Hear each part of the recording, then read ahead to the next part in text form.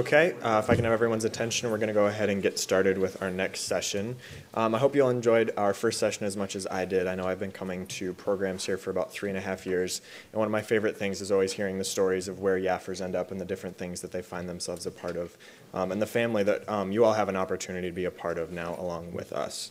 Um, so, switching gears just a little bit, we're going to discussion now with three of our other alumni, um, also three of my new colleagues here um, at the foundation. Um, once again, my name is Spencer Brown. I'm the program officer for digital media here at the foundation.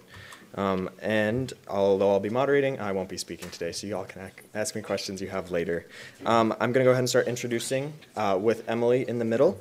Emily Jashinsky is our program officer for public relations at YAF and a graduate of the George Washington University, where she studied political science and creative writing. While at GW, Emily was the chair of her school's YAF chapter, um, where she helped bring several high profile speakers, including Senator Rick Santorum, Herman Cain, and Congressman Sean Duffy. Her chapter also received national media attention uh, when she successfully helped defend free speech rights for all students um, when those rights came under fire. She earned, uh, as part of that, uh, the title for her group of Hate Group uh, by liberal organizations on that campus, um, and she found her interest in the conservative movement just like all of you um, as a high school student. Next, we have Amy Lutz. Um, she's a program officer here at the Reagan Ranch Center and a graduate of St. Louis University. Uh, she graduated from there with an honors degree in history and worked with the foundation during her time at SLU to bring one of our biggest campus uh, activism initiatives, the 9 11 Never Forget Project, to her campus. Uh, she also coordinated with YAF to bring other speakers, including David Limbaugh, S.E. Cupp, Jonah Goldberg, and others.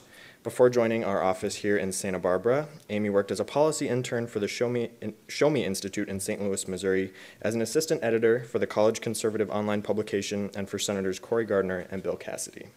Last but certainly not least, we have Jolie Ballantyne, who is our conferences director here at Young America's Foundation. She graduated from Penn State uh, University Dickinson School of Law and also from Central Washington University. Jolie organized a number of YAF activism events on her campus, including Freedom Week and the 9 11 Never Forget Project. She brought in speakers including Bay Buchanan, who you all heard from last night and hopefully enjoyed. Um, Jolie found herself fighting for free speech on her campus as well after she was ironically kicked out of a free speech zone for handing out constitutions uh, to her fellow students. So I'm hoping she'll share part of that story with us today. Um, with that background out of the way, I'd like to introduce our first panelist, Amy Lutz.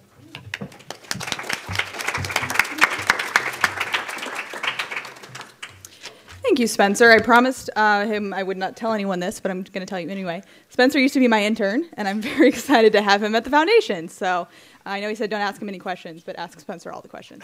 Anyway, so um, I've got my phone with me. I have this really bad habit of talking for like 45 minutes. So if you see me looking at my phone, I'm trying to keep my mouth shut, and so you guys can hear the other panelists.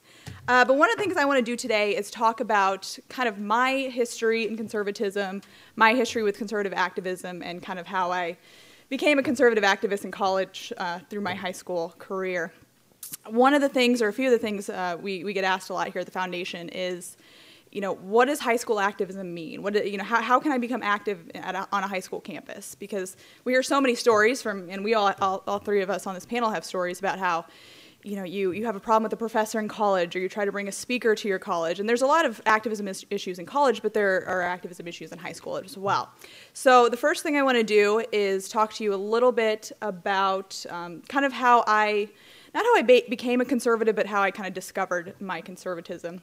I grew up in a conservative family, probably like a lot of you here.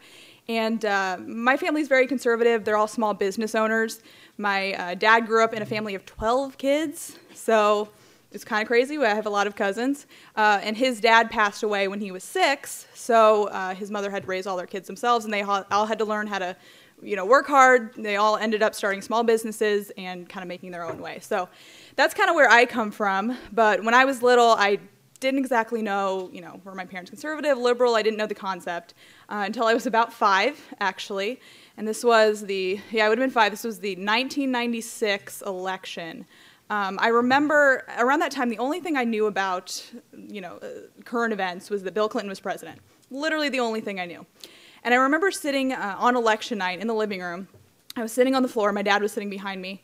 And at one point, you know, they, they announced that Bill Clinton had won a second term. My dad groans, gets up, and walks out of the room. And I remember thinking, why did he do that? Because I did not understand that there was a difference between conservatism and liberalism. So that, that was kind of my first insight into conservatism. I, I understood that there was a difference between politicians, between different viewpoints. Uh, so I, you know, kind of became aware there. And then I had what I call my turning point or my mo moment of clarity, realizing that I was a conservative when I was 10. Um, as cliched as this sounds, I remember 9 11 very vividly. I to be completely honest, I went to a Catholic school. I was sitting in Mass and zoning off um, when the priest announced that 9 11 had happened. I didn't really understand it, so I went home, talked to my parents, and I remember my hometown newspaper. See, I grew up in a town of 10,000 people. Like, you would not expect any conservative activism to happen there, but I did learn it there. But our hometown paper, which has a circulation of like thousand people maybe, um, printed a flag on the back of the newspaper after 9/11 as kind of a show of solidarity. And I was sharing a room with my little sister at the time, and we decided we were going to put that flag up in our window. And despite the fact that I lived in the middle of nowhere and no one was ever going to see the flag, we thought it was a good gesture. So we kept that flag up for probably two months. And what really hit me was on the back of it, um, the paper had included the quote from George Bush that was, let me see if I get this correct. These acts have shattered steel, but they will not dent the steel of the American resolve. And so every day when I got up to get ready for school, I would look at that quote and I would read it every single morning. And something about it just kind of hit me. I just finally realized when I was 10. You know, I, I was always proud of my country, I always knew what it was to be patriotic, but I didn't realize until then what it really felt like. And I didn't understand what happened on 9 11. I didn't understand why someone would want to attack our country. So, what I started doing was educating myself. I started reading newspapers when I was a 10 year old and reading books and you know, trying to figure out what was going on in the world. And that uh, continued into high school. So, one of the lessons that I learned, you know, throughout high school is to just educate yourself. You know, this is a really good time for you guys to learn as much as possible. Um, I was always that weird kid who was like sitting in the middle of my yard reading five political science books in a row. So um, you don't necessarily have to do that, but just educate yourself as much as possible, and also educate yourself on the other side of the issue. When I graduated high school, I think it was probably the summer before my uh, first year of college. I read, what is it, Dreams from My Father and The Audacity of Hope by Barack Obama. And those were just fantastic books. Uh, but I knew then what the other side thought. I didn't just learn, you know, about my conservatism, I learned about the other side.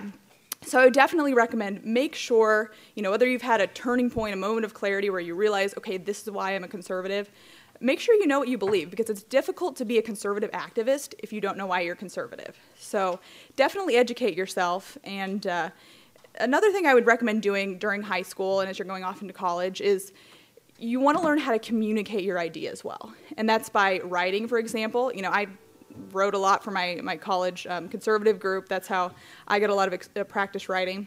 And practice public speaking as well. And I'll, I'll give you guys an example. I was just talking to Spencer about this. When I was 12 or 13, I was terrified of speaking in public. Like, you would not see me up here, this would be my personal nightmare. Uh, but what I did was I decided to shock myself out of it. So I started participating in persuasive speaking competitions in high school. And so every week I'd have to go give a speech um, that was memorized 10 to 15 minutes. For me, it was more than that because I tend to ramble. But as you guys can probably tell, uh, but I shocked myself out of it. I learned to, to speak in public. I was not as afraid as I used to be, and it was something that was very important for me. So I'd say work on your communication skills and work on your, your weaknesses, because for me, public speaking was definitely, definitely a weakness. Now, I want to talk a little bit about how I became an activist. I've talked some about how I became conservative. I want to talk about how I became an activist and how the two kind of met when I was in college.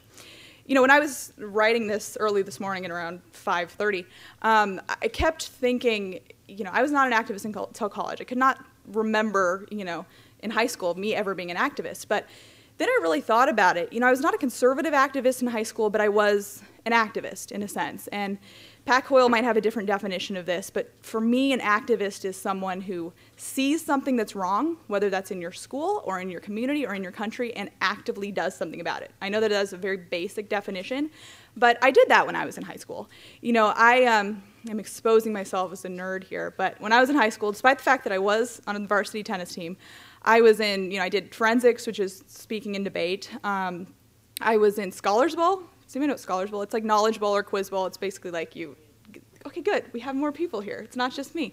Um, I did that, and I also did piano competitions. So I was kind of weird. But um, when my school was uh, very focused on sports, which is good. You know, we our, our basketball team won uh, one state my sophomore year, but they were so focused on sports and neglected a lot of the things that I was in.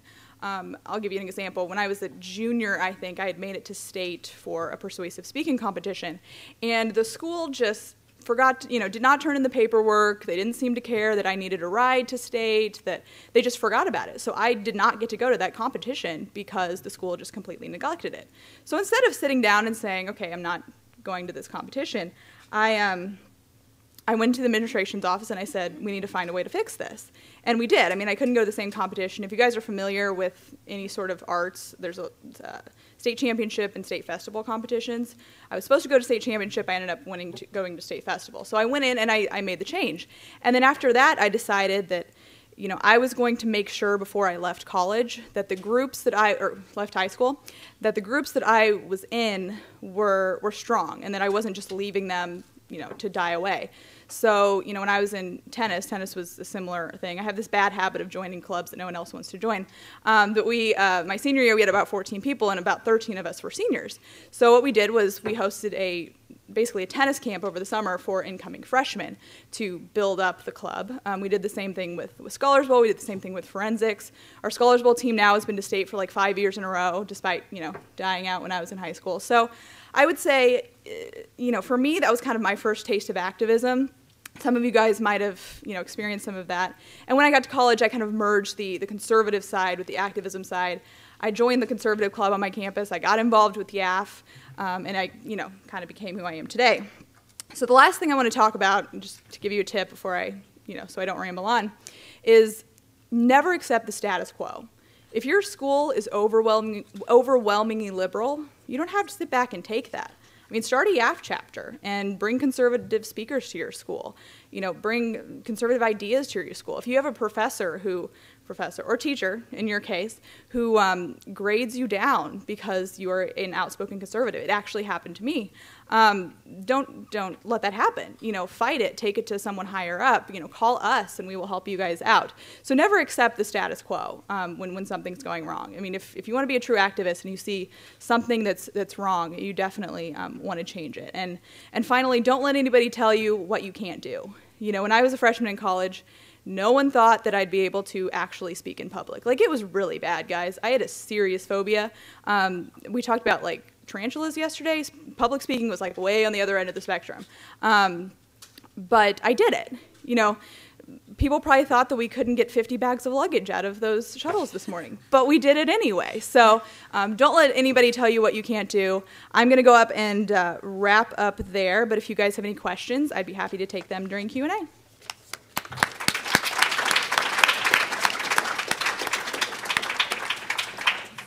All right. Thanks, Amy. Um, what's up, guys? I'm going to be talking to you about something that's extremely relevant. In fact, so relevant that many of you are probably doing it right now, thinking that I'm not seeing it. It's on your phones, social media. Um, that's what I'm going to be talking about to you, talking to you about today. Um, I think our speakers have all done a really incredible job of kind of bolstering your beliefs, on conservative policy. They're all experts, and I'm not even going to try to compete with that level of policy knowledge and experience. Um, so, one thing that I kind of did stumble into finding some level of expertise at, and that's being a conservative activist. Um, most importantly, you know, even if you're not an expert at anything yet, you guys are all in high school, you can be an expert in activism. It's actually really easy. You just have to get involved. Um, pretty simple. Um, and that's what I'm going to be talking to you guys about today is how you can be a social media activist. Um, I kind of I was a Young Americans for Freedom chapter chair at George Washington University, actually just like Michael Waller was. Um, it's a pretty cool tradition to carry on at GW. Um, but social media helped us do a lot. Uh, Spencer in, in the introduction mentioned that I was labeled hateful, and the one that he didn't mention that he should have mentioned because it's my personal favorite is ISIS. Um, I was called ISIS, I was called hateful, I was called a bigot, um, all those names, and they all came from social media because that's how we communicate with each other now. So when the controversy at my school broke, um, which was last March, um, we decided to take a stand against mandatory sensitivity training, which is obviously a very silly thing, and everything broke on social media. It was a snow day. I was sitting there in my bed watching Netflix, like most people do, and um, it was chill and um, don't clap. and um, I just started seeing that my phone was blowing up, and I was scrolling through, and I discovered how hateful I was. Um, so it was a great afternoon. It was a wasted snow day. We don't get many of them down below the Mason Dixon line in DC. But you guys all know that the media and popular culture is controlled by the left. That's obvious. We all accept it. We know that. Um, and it's not, you know, you're not turning on TV and necessarily seeing, you know, old propaganda like Soviet style, right? It's not that obvious. It's a little more subtle, although it's kind of ridiculous when you turn on like Parks and Recreation and it's just an advertisement for the Obama administration or the Clinton campaign, right? You guys, did you guys watch Parks and Recreation? They had this just the cushiest guest spots, and that's on prime time. You would never see that happen with any conservative president. So we know that the media is controlled by the left. Um, you know, like I said, it's not necessarily you know Soviet style, but it's there and it's subtle, um, but it's very powerful. And social media, the ways it's evolved, um, really over the course of our lifetimes, um, has been that it's become a branch of the liberal media. Social media is a branch of the liberal media, and you guys are all on social media. I'm sure you know that to be true. But what's really beautiful and powerful about social media is that its beauty and power hinges on the premise of viral impact. So any single person on social media can become viral. All you have to do is unlock the key to rallying other people to share what you're saying. That is all you have to do, and it's it's you know not as easy as I'm making it sound, but um, like I said, it's something that you can absolutely do. Um, you just have to sort of find a sweet spot, and it's anybody with a smartphone has the, has really has the potential to be just as powerful as Kim Kardashian. You do, I promise. Because if Kim Kardashian gets a thousand retweets on something, you can also get a thousand retweets on something. It's just harder for you to get there, right? That doesn't mean you can't have the impact. So that's an important thing to remember. Um, and you might think that the left doesn't control social media because I know if I'm scrolling through my feed, it doesn't look like the left controls social media because I'm following all of the conservative outlets. But you have to remember that those don't necessarily have um, the reach of the average non-political American who's scrolling through, you know, E-News, and E-News is covering Hillary Clinton. You know that stuff. Um, so you have to be really careful. Um, the top 100 most followed accounts, I just went through them right now. The top 100 followed accounts, they're all celebrities. Maybe, maybe three of them are not posting these subtle, uh, these subtle ways of advocating for the left. The ones I came up with that were maybe doing that was Daniel Tosh.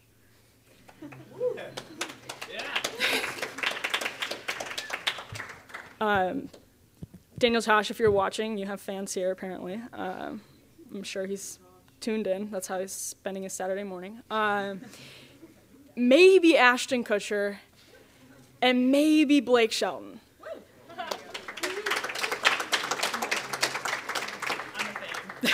That's of the top 100 most followed Twitter accounts. 100, 100, the top 100 most followed Twitter accounts who are every single day reaching millions, if not billions, of people.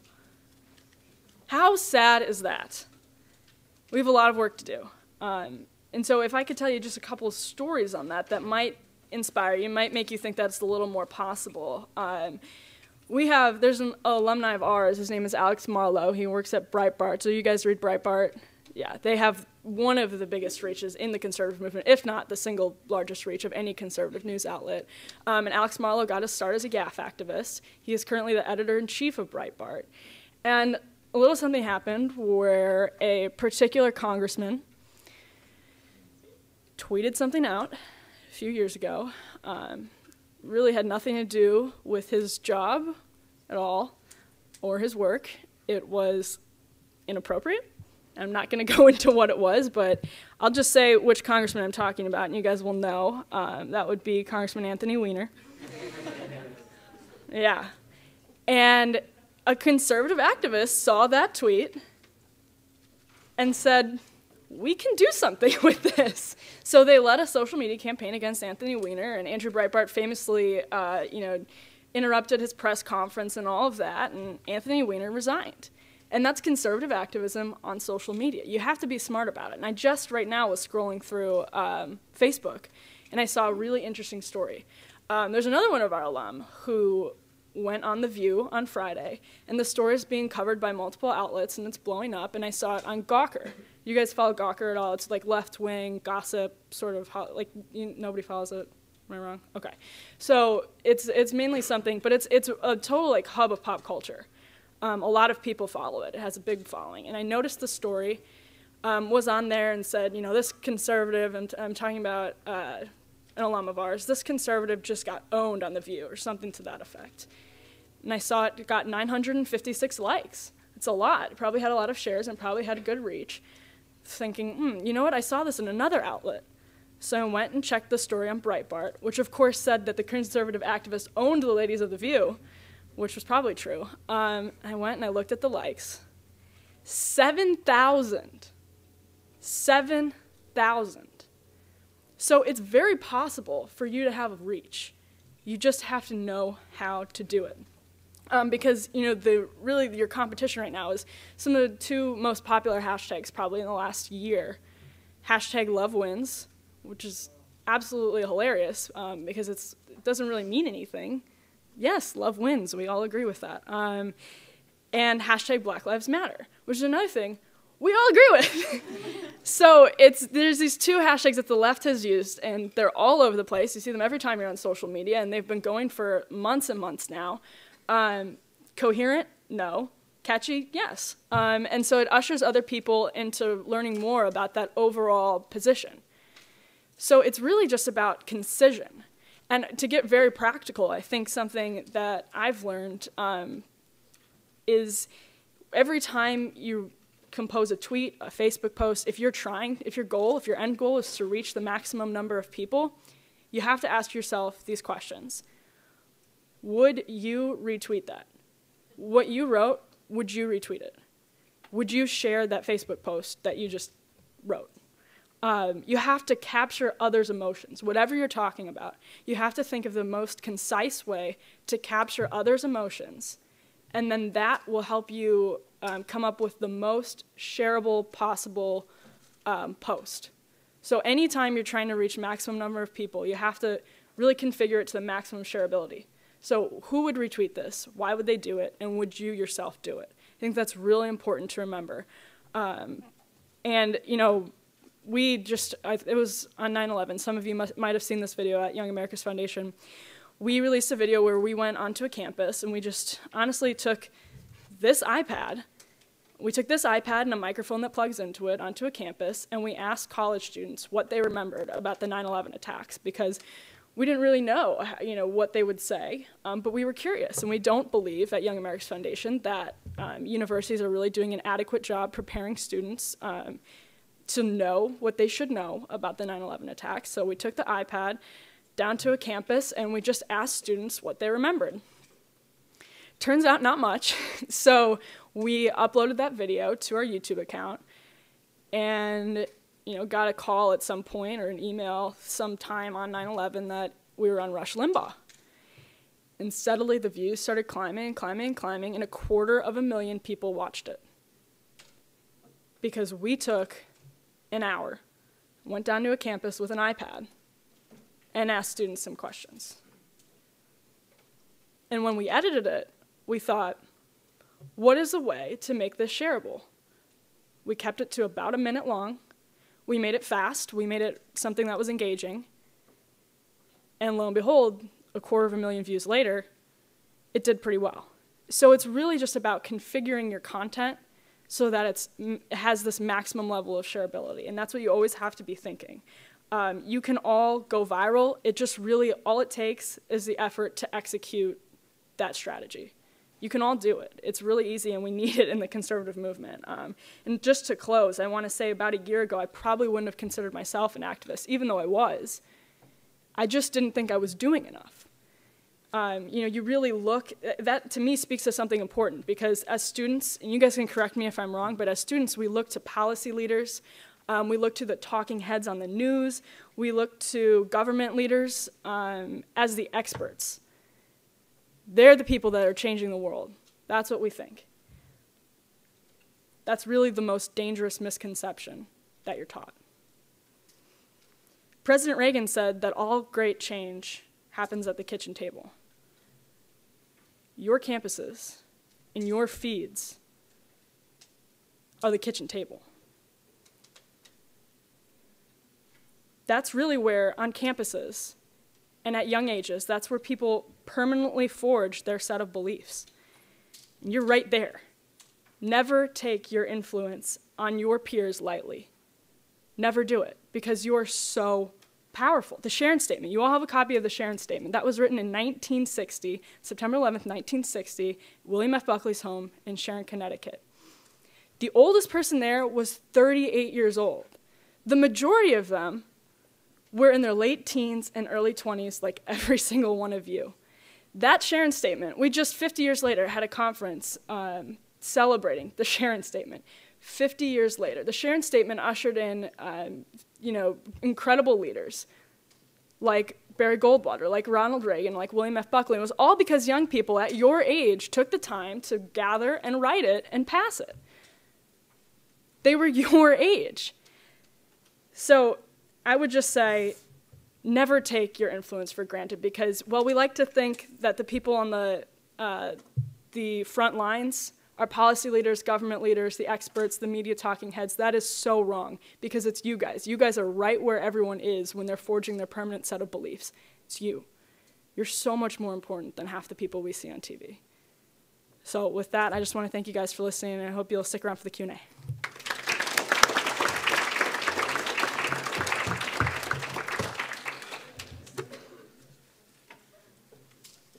Actually we don't give you a choice whether to stick around for the Q&A, so you're going to stick around for the Q&A. It's going to be exciting.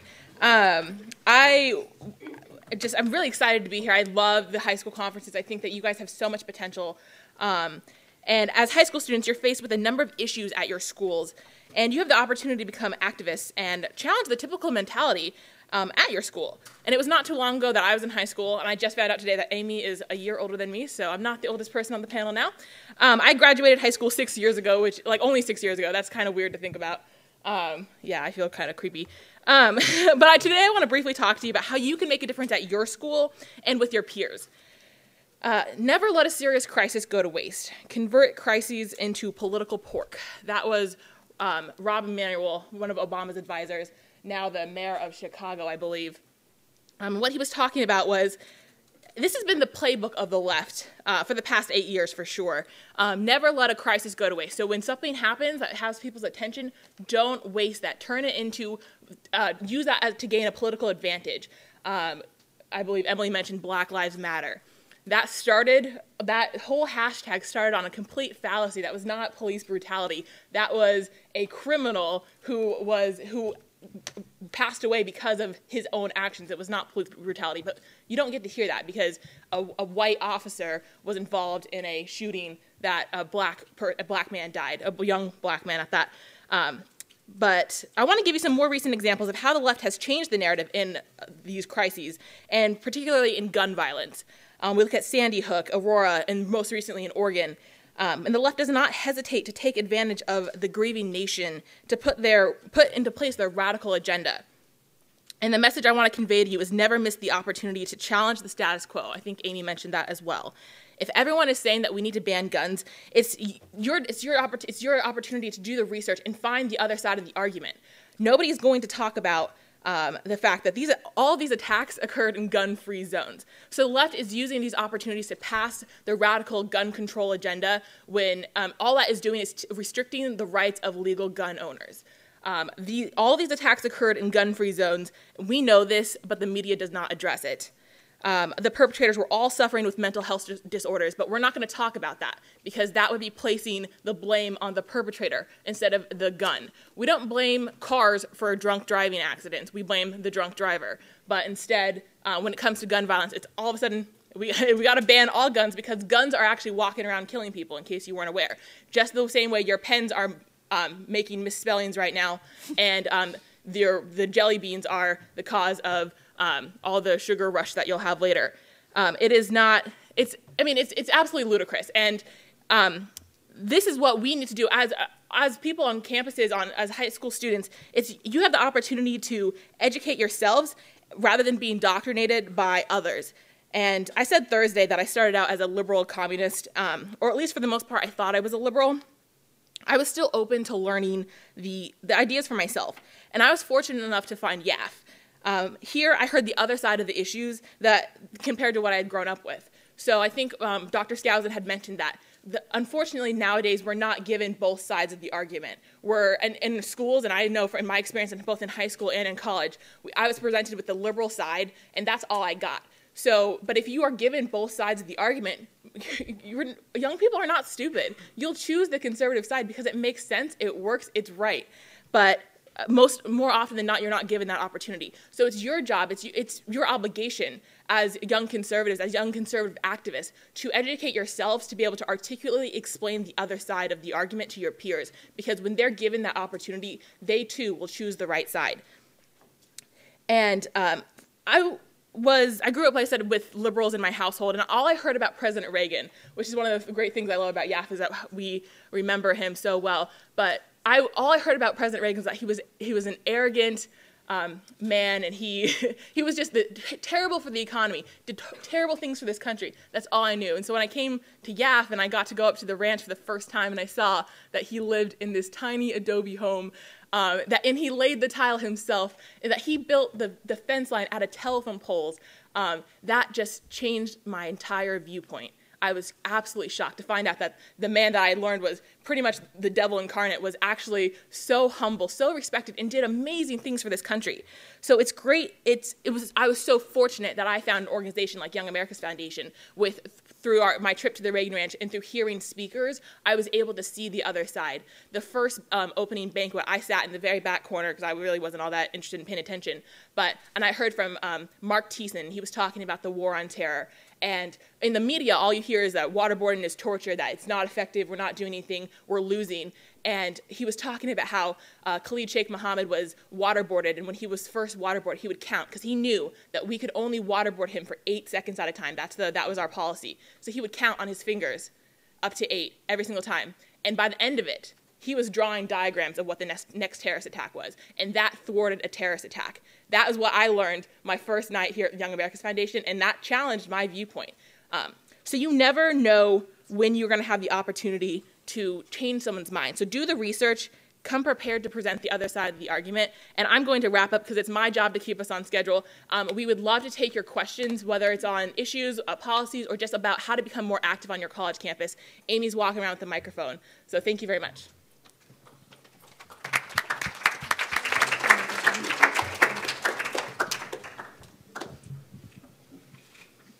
Hello, my name is Olivia Benalcazar, and I have one question. What is waterboarding? um, I'm certainly not an expert in waterboarding, but essentially it is a, a it's simulated drowning in a sense. I know it sounds that's sorry. That is how the left would explain it. Um, I don't exactly know how to explain it any other way, but essentially you have a cloth. Over, the, the person would have a cloth or a hood over their head. Water is poured on it. There's no there's no danger to their life. They're not going to be killed. Um, it just makes it just is very terrifying. Um, and so that is essentially what it is. But you can definitely look it up and be able to explain it to other people.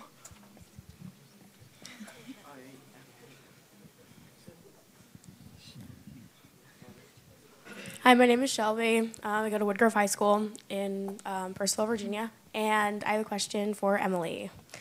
Hey. Shoot. Um, so I'm on Twitter right now, and I recently had a very bad Twitter experience. It was really bad. So I used the hashtag. Uh, it was, um, in case you guys didn't know, it was coming out day uh, last Sunday. Anybody? Yes. It was coming out day. So I came out as straight, and um, to prove that Very brave.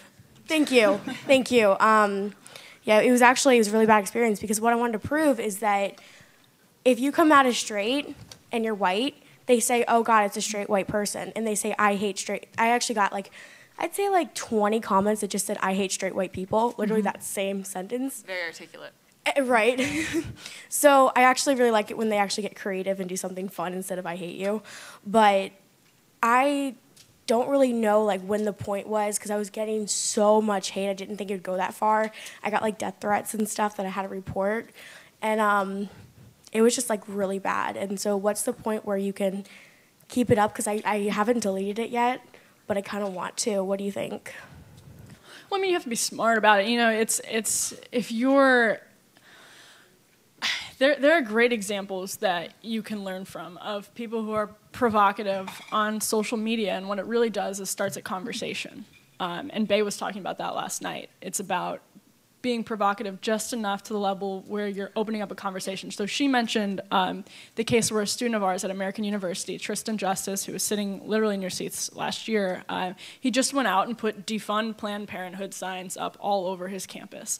And at really, you guys aren't in college yet, but you'll notice that's actually a pretty extreme position to hold on most college campuses.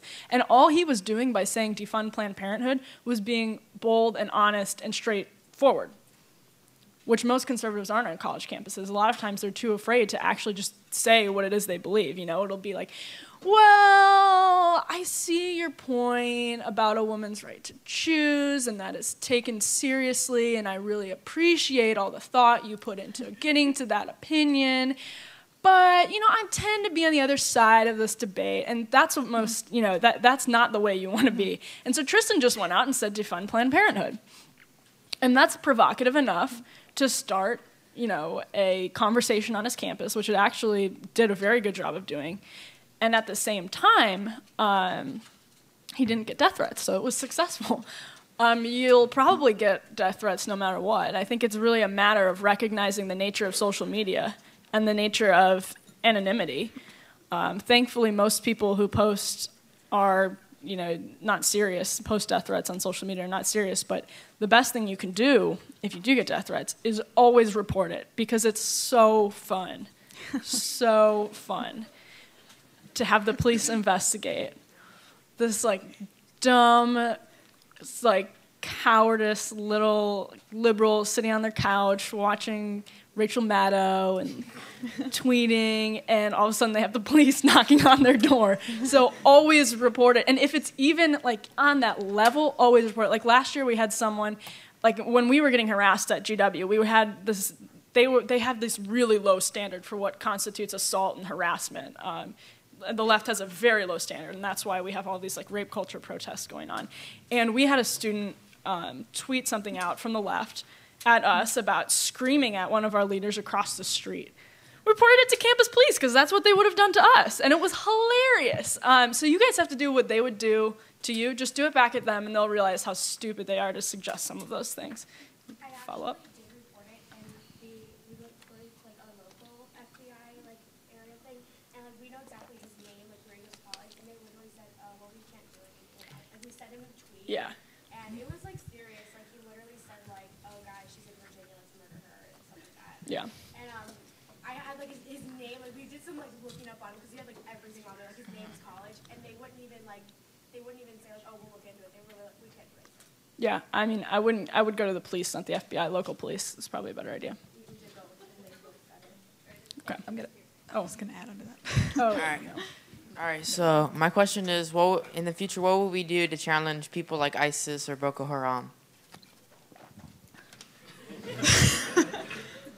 well, we should elect leaders who um, are qualified to, to do that. I think that we, if you look at our, our country right now, we do not have that leadership, and that's what we need.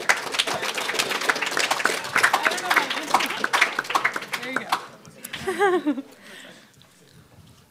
I am not qualified to take on ISIS uh, and Boko Haram. Karate only goes so far. Um, who is your favorite past president? Favorite past president? Well, I mean, Does anyone here on this panel have a favorite past president that is not President Reagan?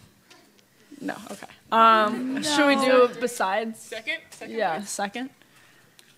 Well, I think for me, it's it's tough to compare presidents who are from different eras. You know, it's tough to compare, let's say, Jefferson to Reagan, and in some ways you can, but they're in two completely different situations. So I always look at you know my favorite president from every century, century, or every um, or every era, every decade. Um, you know, George Washington, I'm a big fan of. Uh, John Adams and John Quincy Adams did a lot of very good things, especially towards um, fighting for the abolition of slavery. Um, you've got Lincoln as well a little bit later. I'm going to say every president here. Um, Coolidge in the 1920s, and then Reagan. So there you go. There's my like five.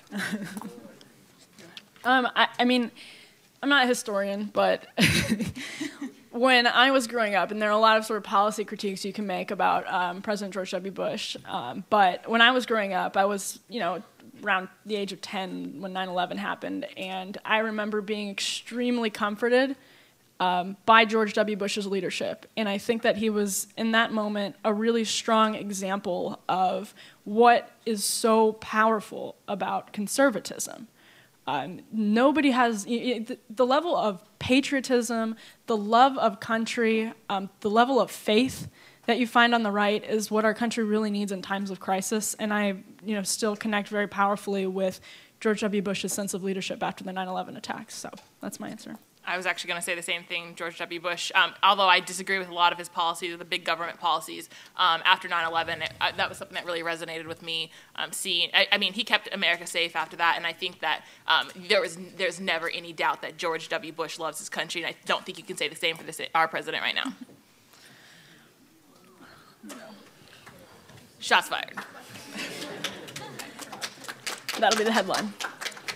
Um, my name is Joe Ballard from Bellarmine College Prep. I have a question for Amy. Oh, Um, you mentioned you went to a Catholic school, and when you came and visited us, I think you kind of got a sense of like how bad the administration. Do you have any advice?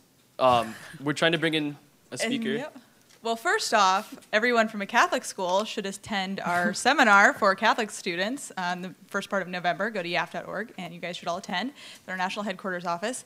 Um, but some tips to just bring in speakers or to kind of fight against the like like what specifically? Like we have an administration that's basically said no, no, no, no. That's right. We talked about this. And then they back up the students who say no.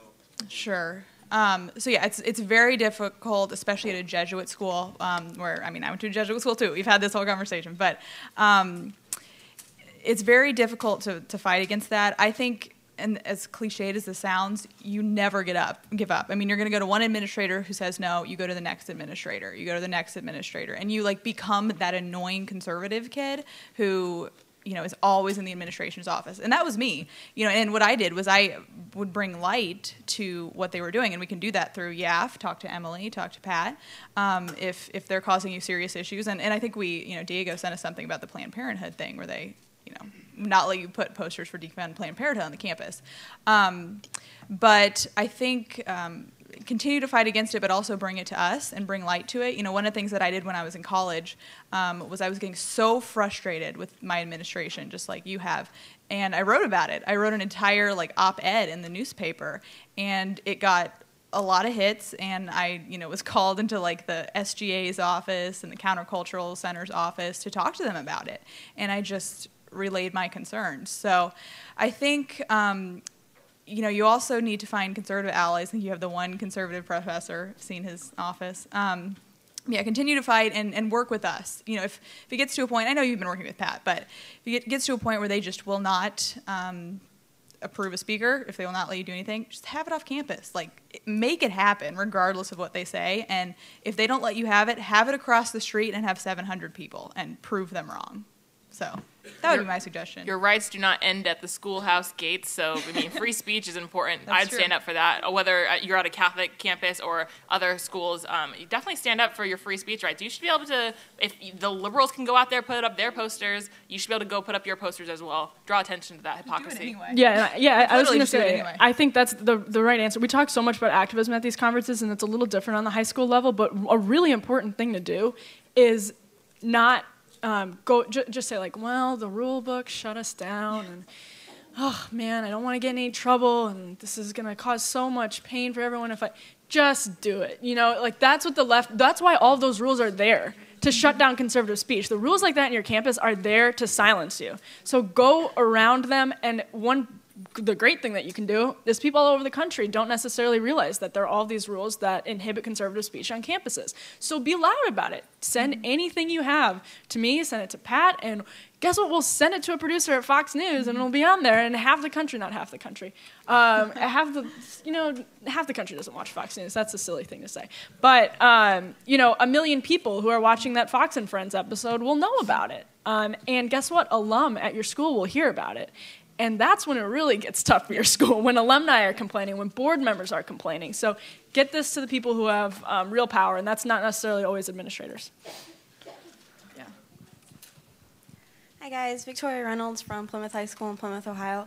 My question is for Jolie. Um, you said that you used to consider yourself a liberal, so I'm uh, wondering what ideas made you think that you were a liberal, and what ideas made you realize you were a conservative. I think it was more of a lack of ideas that made me think I was a liberal.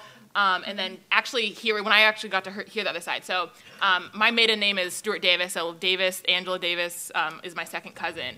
Um, and so I grew up in a household that I mean that name probably doesn't mean a lot to many of you here, but she's a, like one of the top leaders in the Communist Party. Um, ran for the vice presidency under the Socialist Party.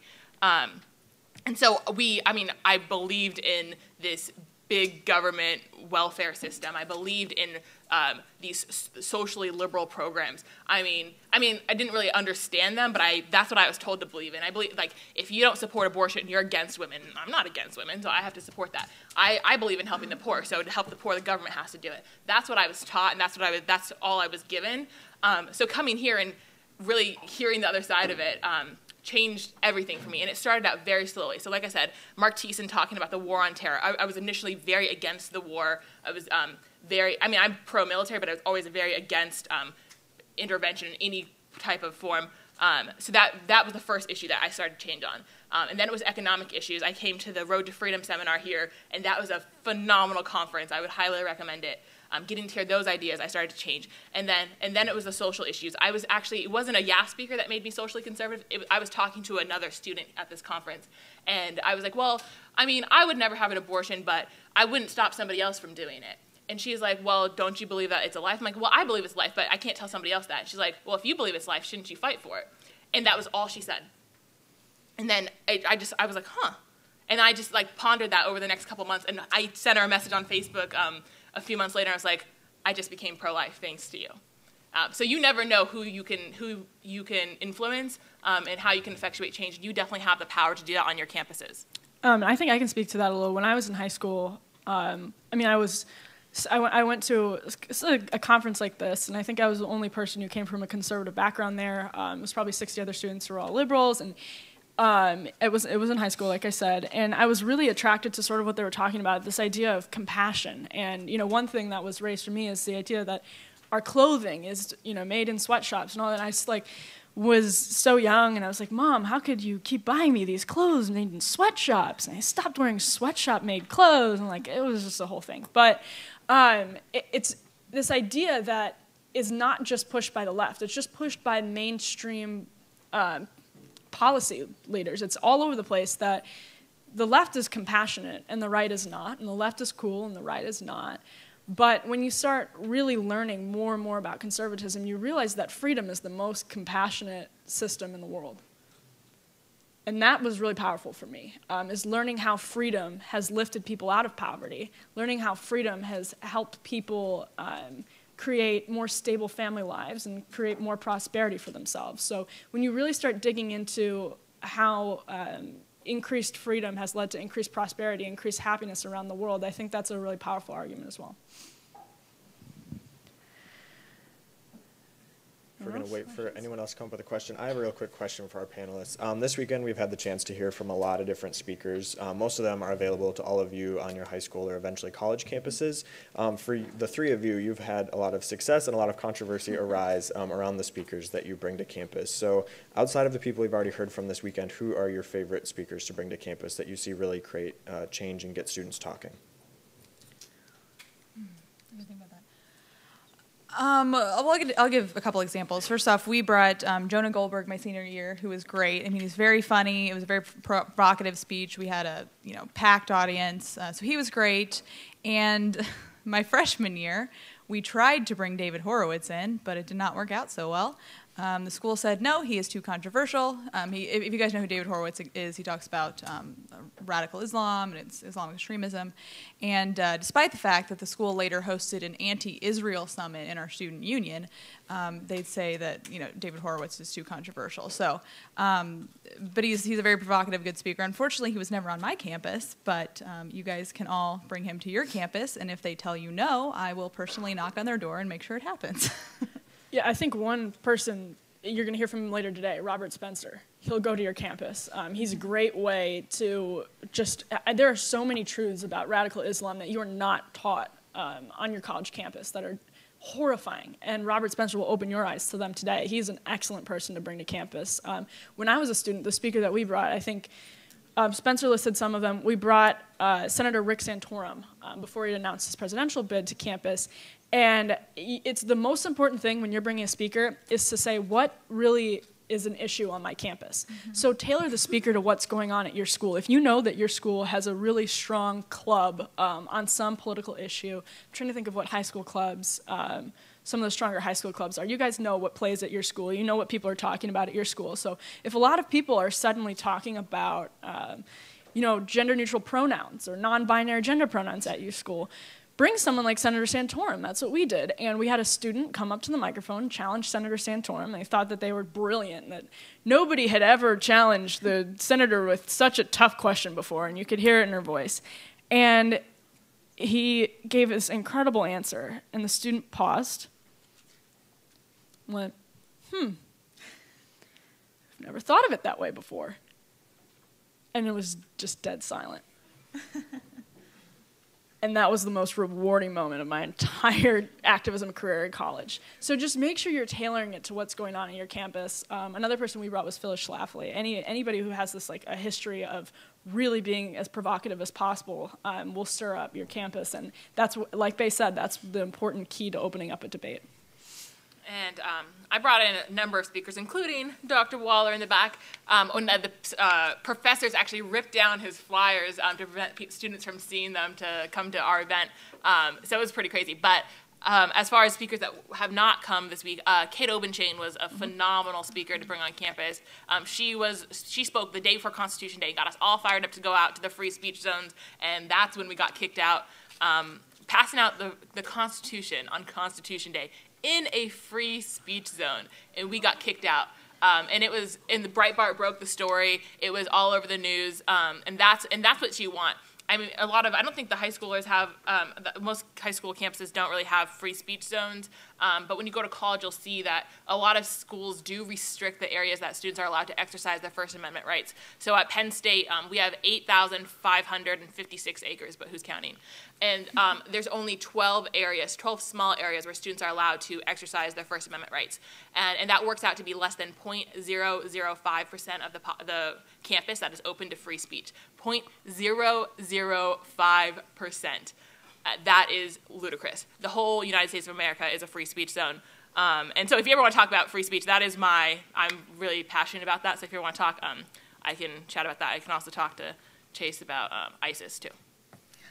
Do you have any more questions? Any more? Oh, One more right down here in the front. All right. I bet it's about ISIS. no, it's about free speech zones. Would you recommend intentionally intentionally violating the free speech yes. zones? Yes. Yes. Yes. Yes. Because right. there, you, a law that is unconstitutional, like a rule that's unconstitutional, break it. There's no. I mean, better to ask for forgiveness than ask permission. Um, if your school is not allowing you to, to be in that free speech zone, if they're saying that you have to be in that free speech zone, break that. Um, of course, don't get in trouble, don't get arrested or anything like that. But if you do, we're there for you. Yeah. Um, you. Like 100%, I will be right there with you in the next jail cell because uh, free speech is so important and is so worth fighting for. Yeah, there's a great. Have you guys? A, a lot of students read this in high school. Have you guys read Let- Letter from Birmingham Jail by Dr. King, Dr. Martin Luther King? Great. Use the left's words against them. Dr. King in that letter writes, "An unjust law is no law at all." Free speech zones are unjust laws and they're no law at all, so use that against your teachers. I think there are free speech issues at high school campuses. I think the more you speak up, the more you realize that your voice is actually not um, allowed to be as loud as you would like it to be. I think you will find that. And so if that's the case, always come to us. We will help you. We'll take you step by step. We've done this with hundreds of students over the course of decades. We have all the experience you need. Please bring it to us. We'll do everything we can to make sure that you're um, able to speak out on your campus. Uh, we're happy to do it. So just make sure you're constantly twisting the left's rhetoric against it. I would add that when we got kicked out of that free speech zone, we did have a big, I mean, we were passing out the Constitution, but we did have a big sign that said free speech banned at Penn State. That might have been why we got kicked out, but, uh, but still, I mean, still can't kick somebody out of a free speech zone just for, you know, exercising their First Amendment rights. Yeah. We're going to all give our panelists another round of applause.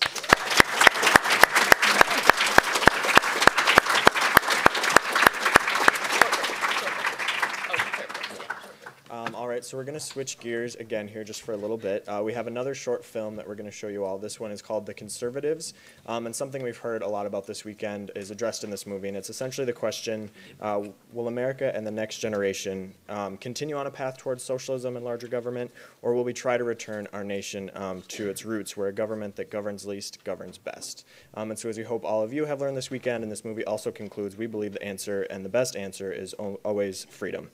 Um, and so this film features some of the greats of the conservative movement. Um, many of them you can bring to your campus. So if you see someone, you're like, hey, you know a stance that would be great on my high school campus, definitely get involved with that. And um, also, a lot of these people that you're going to see got their start right in the conservative movement through YAF. Um, so they were just like you a couple of years ago, maybe some more a little longer ago, but um, they all got their start through YAF in the conservative movement. Um, and so go ahead and roll the conservatives. After we get off the stage, so the screen doesn't